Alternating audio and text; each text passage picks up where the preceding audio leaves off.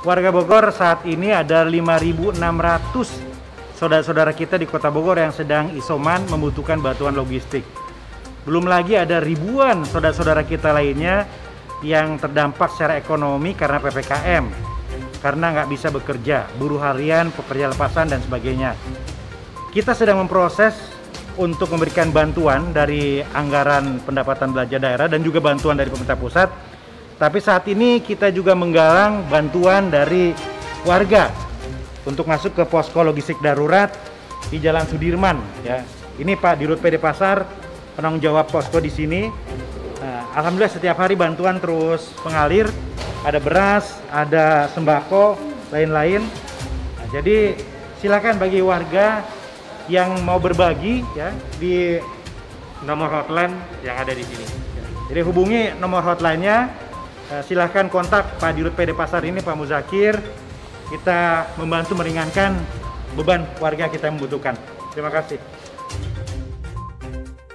Kami atas nama RW Siaga 09 Tanah Baru sangat mengucapkan terima kasih khususnya kepada Bapak Kapolres yang telah mengadakan serbuan vaksin di wilayah kami di RW 9 dengan kuota 150 uh, orang alhamdulillah antusias semuanya dan juga kunjungan Kapolres kami sangat berterima kasih.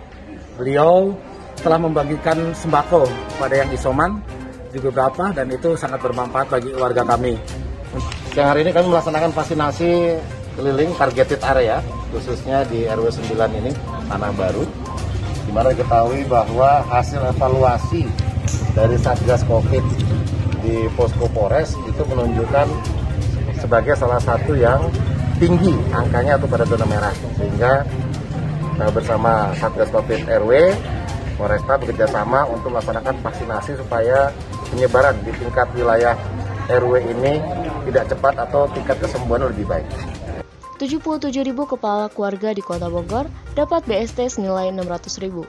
Pemerintah terus berupaya memberikan bantuan di tengah masa pemberlakuan pembatasan kegiatan masyarakat darurat di Kota Bogor ini. Kembali mengalokasikan bantuan sosial tunai senilai 600 ribu untuk lebih dari 77 ribu kepala keluarga. BST ini berasal dari bantuan pemerintah pusat melalui Kementerian Sosial yang mengacu data non-data terpadu kesejahteraan sosial.